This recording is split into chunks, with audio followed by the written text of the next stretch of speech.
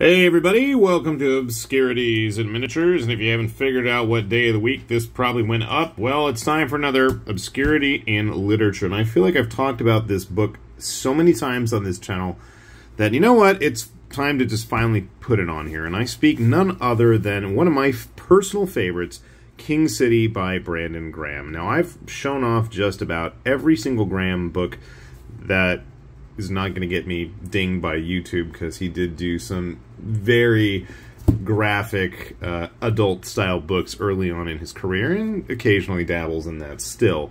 But to me, this is where he really made his mark. And uh, most of this, from my recollection, was all originally published by Tokyopop. But this book itself, this is a massive book, by the way, is actually through Image. And like it says, when I don't know if the price has changed, but when it came out, it was 400 pages for 20 bucks. And I was like, hell yeah. But I saw that cover, and being a forever canine person, uh, I, I, just was like, cats, you know, I mean, I, I guess. But, you know, there's a lot going on here, and that is absolutely intentional that there is the shadow like that. But what really got my attention was when I finally got a chance to see the back cover, and there's just so much detail going on with everything. Joe and Pete there. Uh, one of the things that I truly enjoyed about this, what really made me interested in Graham's work, was just there's so much bizarreness all these weird puns and blurbs and just every the, the, way things are written everywhere. And there's just so much going on in the backgrounds. I mean for a book titled king city and obviously you know king city is going to focus very heavily into this i really feel like for as much as we have this core group of characters that the story focuses around i mean the city really ends up being kind of the star because even from the get-go early on in the book, I, I feel like Graham's work is a little bit more simplistic, a little bit more stylized, a little bit more in that kind of graffiti era than what it becomes later on. And I just I like love the inside covers here. The detail in the backgrounds. There is a very heavy manga and French comic artistry thing going on here. And it's just like the bizarreness of the city, the things that are in it, the signage going on everywhere. It just, the density of what's going on. The various gangs, evildoers, no-gooders, the whole Korean zombie war that's going on. Because, yeah, that's a thing in this book. And actually, the PTSD that one of the main characters deals with, drug usage, which is bizarre. And I mean, even like from the get go, this is fairly early on. You know, we, we start getting the weird detailed lists of just unique traits of people. His fingers have no nails or prints, two sets of eyelids, three rows of teeth. His belly button has teeth his kneecaps have some kind of holes in them with acid sacs.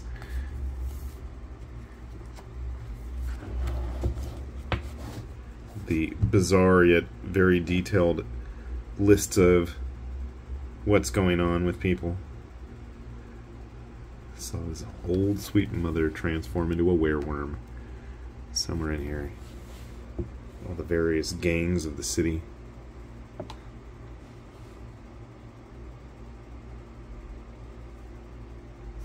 being a fan of classics like The Warriors,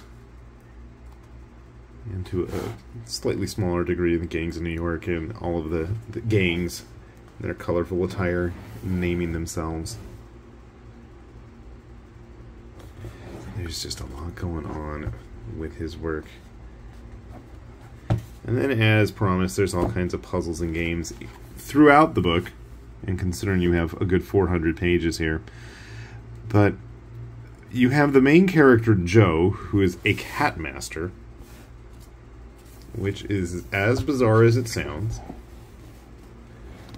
The little blurbs about the Korean zombie war.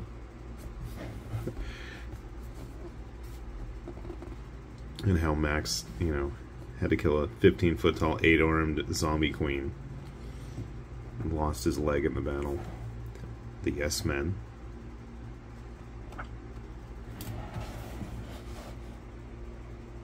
When Joe learned how to be a cat master out on the cat farm.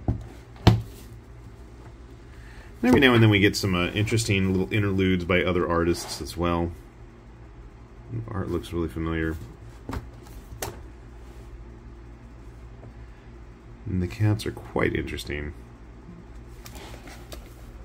So then you see a lot of later on in his work, we have like these detailed lists of inventories of everything going on. And Toilet often plays into effect in his stories as well.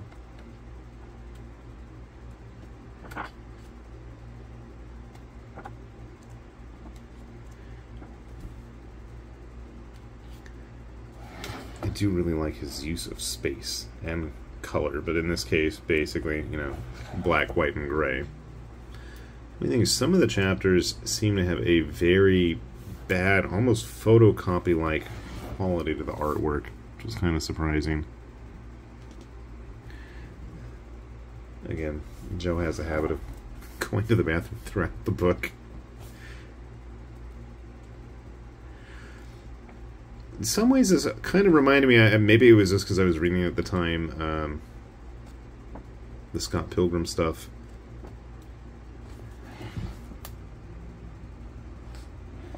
But again, that might just be... To me, I, I enjoyed this. I mean, not to say that Scott Pilgrim was bad in any way, but to me this was much more my kind of book. And as the story goes, and all the characters and various stories start to tie up. I found that pretty cool. In the back, we've got a bunch of short stories as well by various artists, including one of my favorites, good old Mr. James Stokoe. Giving a bit of the background info and everything. And as always, with a Brandon Graham book, you're going to get all kinds of weird afterworld fun stuff like this.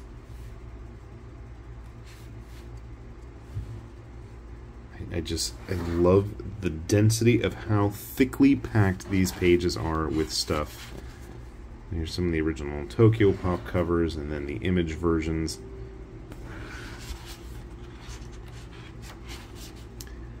Where was the board game? I don't even remember. You got all the characters for it.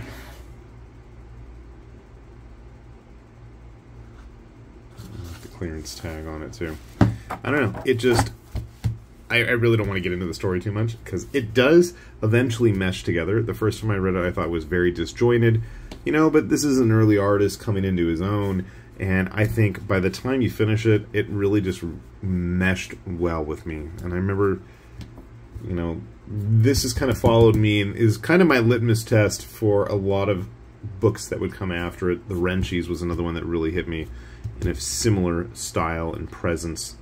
Um, I know, I've always been kind of bummed that a lot of his later works didn't really reference King City. I mean, even with a throwaway line, because considering how many bizarre throwaway lines there are in this, multiple warheads, rain like hammers, it totally could have fit in there, and it just could have been one big Brandon Graham universe stuff. But I mean, a lot of the storytelling techniques that he would eventually use in his Prophet run. You could see a lot of the beginnings of it here, and I really enjoyed it. It feels very personal, you know, on a very down to earth, very street level, if you want to, you know, talk like the kids. But uh, it is. I mean, it is on the streets, and there is a very heavy sense of, you know, that street scene. You know, with all the various gangs, cliques, hustlers, movers, shakers, scenesters, it's all there. And as somebody that was always interested in that kind of culture, especially you know with the various subcultures that surround it, it really resonated well with me. So if you're looking for something different, I mean, I, I, this really fits the bill. It's unique. It definitely uh, has some various homages throughout it, but for the most part, I, I'd say this is a very interesting and original work that we don't see a lot of like this these days. And Tokyopop was really putting out some cool stuff at this time, like Sharknife, James's and Wonton Soup, King City, Guy Davis's. Uh, that was Oni, wasn't? No, that wasn't Tokyopop. The others are Oni too. I'm confusing my companies, obviously. Okay, that's a good sign for me that this day is coming to an end. I need to stop talking because I'm mixing up my companies. Oni did put some of that stuff out. Tokyopop did put some of that stuff out as well. I'm going to have to go back and check my history. Anyway, if you're interested, do take a look on Amazon. You should be able to find a good, cheap copy. I don't even know how I ended up discovering this. This is one of those weird Amazon recommendations from way back when. And I mean, I'm, I'm talking, shoot, what year was this even published? I should have checked that first thing.